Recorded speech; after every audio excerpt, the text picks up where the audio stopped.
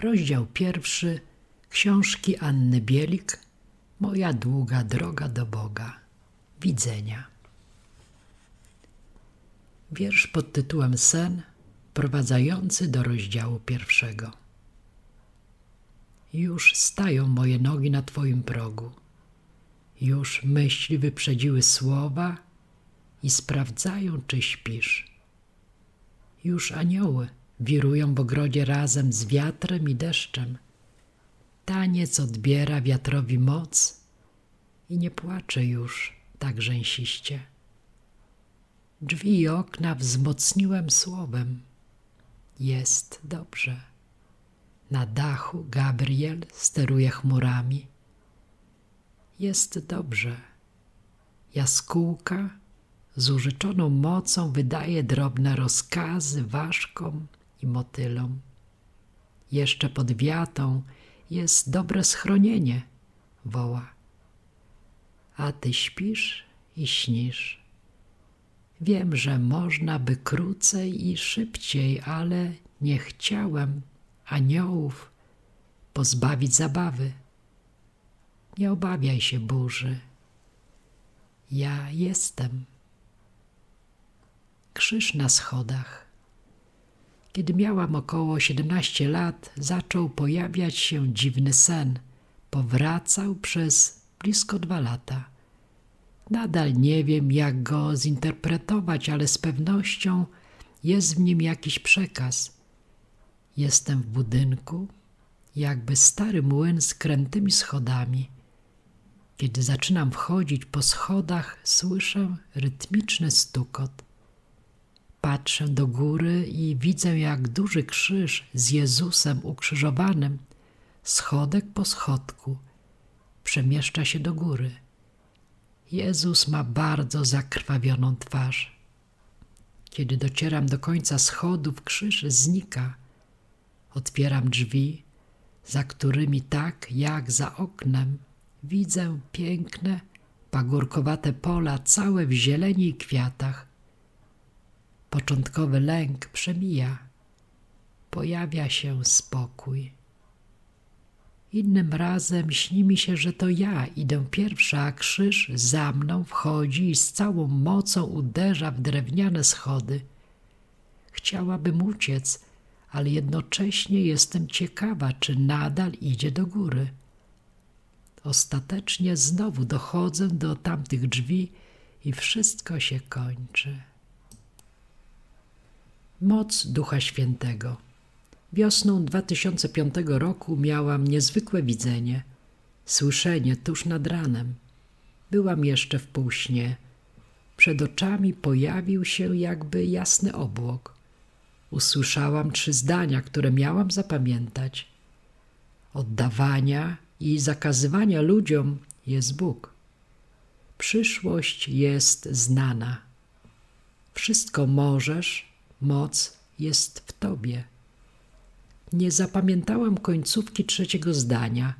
Byłam pewna, że coś tam jeszcze było. Nie widziałam w treści zdań nic nadzwyczajnego poza trzecim zdaniem, które wydawało mi się mało skromne. Nie mogłam go zaakceptować.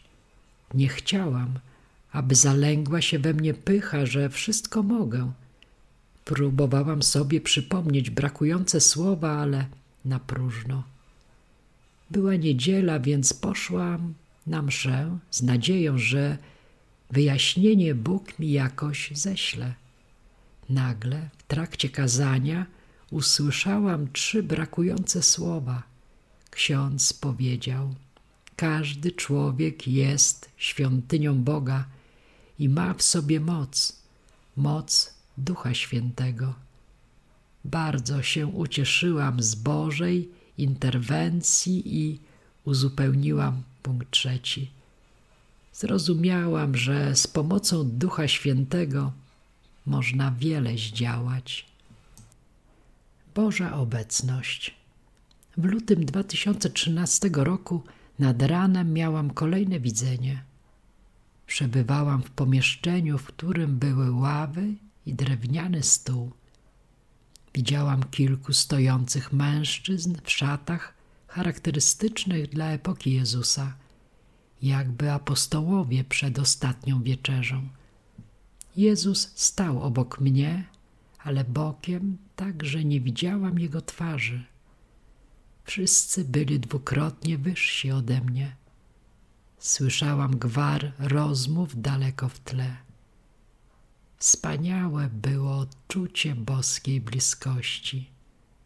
Nie da się tego określić słowami. Obraz. Kazimierz Poczmański urodził się w 1900 roku, zmarł w 1982. W latach 1922-1931 studiował na Akademii Sztuk Pięknych w Warszawie. Tworzył portrety, martwą naturę i krajobrazy. Przez kilka lat był naszym bliskim sąsiadem. W 1958 roku pewien biskup krakowski zamówił u niego obraz, na którym miał być Bóg i dzieci. Kiedy do transakcji nie doszło, moi rodzice odkupili od niego ten obraz – ponieważ to ja i moja siostra pozowałyśmy do niego. Pan Bóg, centralna postać, siedzi na schodach do bramy niebios. Na lewym kolanie Pana Boga artysta namalował mnie jako małe dziecko, a po jego prawej stronie na schodach siedzą dwie dziewczynki około dziesięcioletnie. Pan Bóg na nie patrzy, a mnie obejmuje lewą ręką. Do obu dziewczynek pozowała moja siostra. To duży, piękny obraz o wszelkich walorach religijnych. W grudniu 2020 roku około piątej rano poczułam, że Pan Bóg przytula mnie tak, jak na wspomnianym obrazie. Był to ogromnie silny przekaz miłości, taki, który zapamiętuje się do końca życia i za którym się tęskni. Od tego momentu obraz, który dotychczas był mi raczej obojętny, okazał się cudownym, pełnym treści arcydziełem, podarunkiem niebios. Zrozumiałam, że mogę w każdej chwili zamknąć oczy, stać się dzieckiem i usiąść na kolanach Boga, a On mnie obejmie i przytuli. Zaczęłam to praktykować codziennie – Wspaniale jest mieć swoje sanktuarium w ramionach Najwyższego. Wszystkim czytającym z radością udostępnię to wyjątkowe miejsce na Bożych kolanach.